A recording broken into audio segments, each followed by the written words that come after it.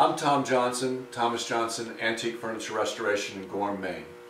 This is a sweet little harpsichord. It was built from a Zuckermann harpsichord kit in uh, 1984 by this gentleman, Henry Van Zandt Cobb. He actually built uh, a few harpsichords from kits, bigger ones than this even. And this harpsichord is in pretty good shape, but it's been stored and stored down a basement. It's made of maple. It's, it's got dirt on it. It also has what may be a little bit of water spots and possibly mildew. So I'm going to clean it down with a bleach solution and then re-shellac it.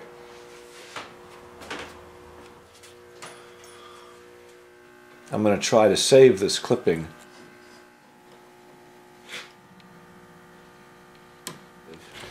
That scotch tape seems like it's stuck on there pretty well. I'm going to see if a little paint thinner will loosen that adhesive. I'll finish getting the tape residue off later. Now I'm going to uh, take off the hardware and take the lid off.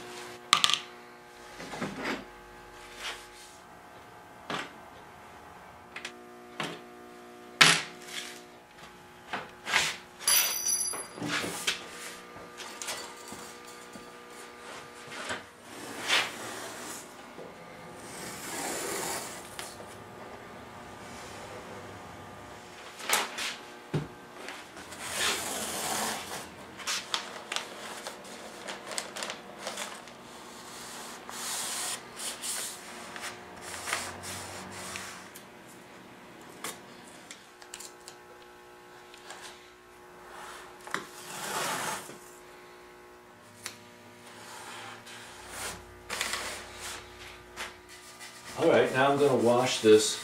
I have a, a gallon of hot water uh, to which I've added an eighth of a cup of TSP and uh, eight ounces of bleach.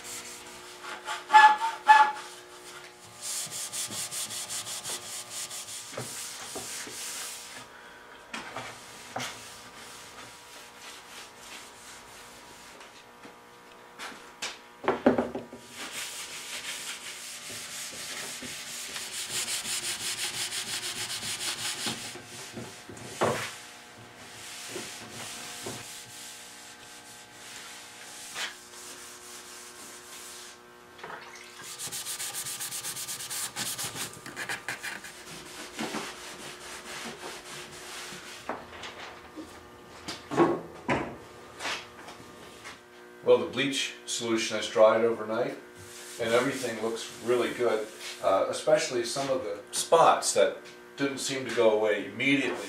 And so now I'm going to sand everything with uh, 220 gold paper, getting ready for a coat of shellac.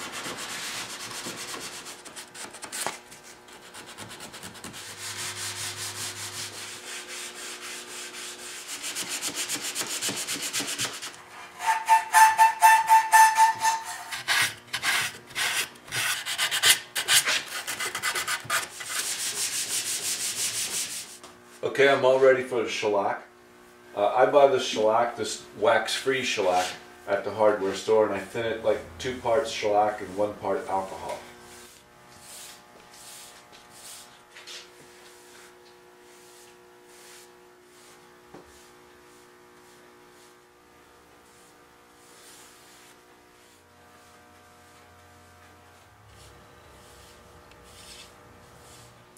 As I started to brush shellac on this, uh, the outside of the fall board, I see all these little water spots here. I could see them yesterday when I washed it with bleach. They didn't seem to disappear instantly. But this morning when I came back in, they seemed to be gone. And I sanded this and I couldn't see them. But now I can see them. So I sand this fall board a lot better till those spots are gone. The sanding wasn't really going so well. The shellac was clogging up, but I decided, well, let me try a scraper. That seems to work a lot better. This is where the spot, the worst spots were in this area here. Okay, so all the shellac has dried overnight. It all looks pretty good. And so now I'm going to uh, sand with 320 gold. I'm going to sand everything and then uh, apply a second coat of shellac.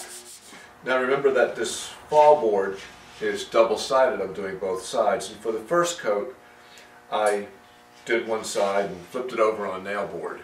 But um, that's only good for the first coat. This coat, the second coat, which will be also be my final coat, I'm going to do you know, each side separately. I'll do this side, the inside, uh, wait till it dries, then turn it over and do the outside.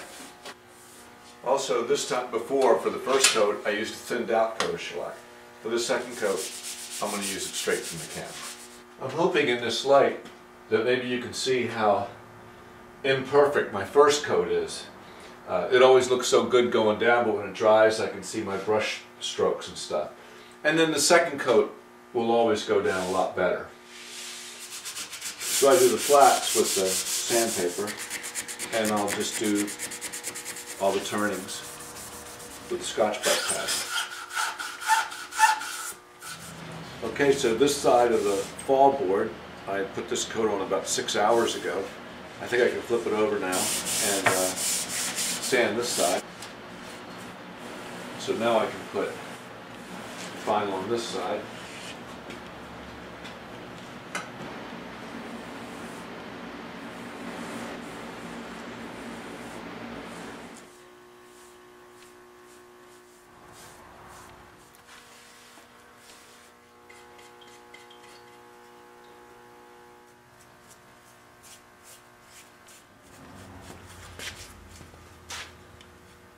Okay, now the second coat has dried overnight, and the next step is to sand out with uh, 500 gold sandpaper.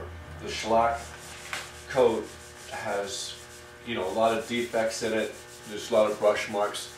Shellac dries so fast, it makes it difficult to brush a really nice coat over a large surface. So hopefully I'll be able to smooth it all out with this 500.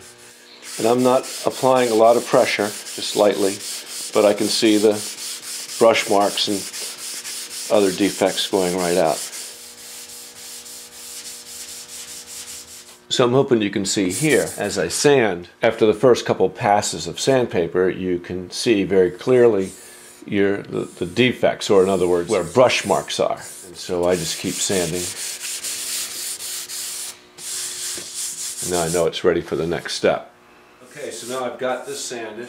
Now I didn't get every single shiny spot out because the next step, which, in which I'll use 4-0 steel wool, will take out those remaining shining spots.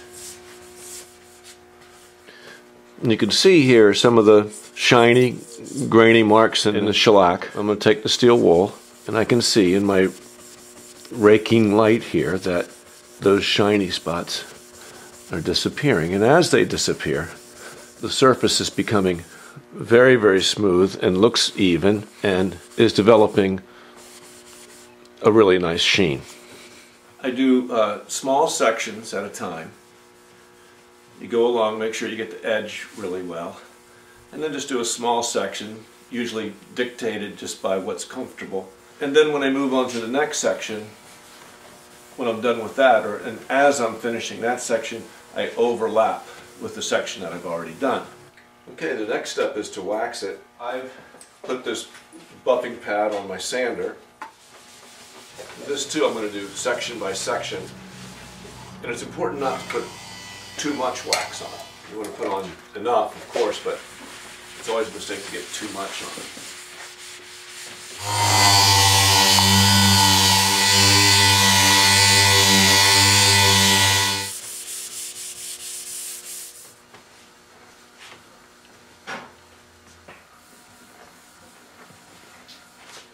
So the, the case of the harpsichord itself, I'm not going to sand, I'm going to go straight just to steel wool.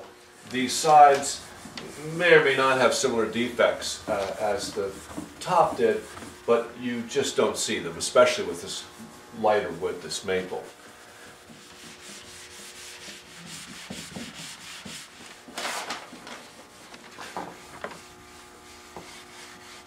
On the leg assembly, I'm just going to go uh, straight with steel wool and wax.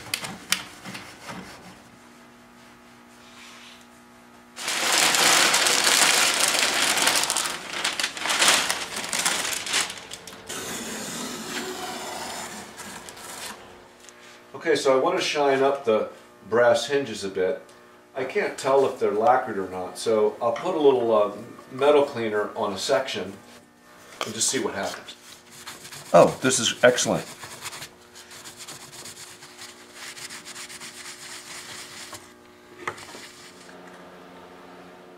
Now, before I seat the screws completely, I'll take a little steel wool and take the tarnish off them.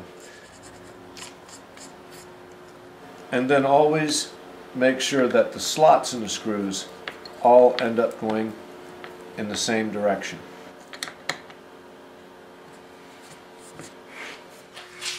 So here we go, this nice little harpsichord. If you remember it had been stored and it was uh, dirty and had mildew and uh, we I cleaned it with a bleach solution, shellacked it and waxed it. I think it looks pretty good.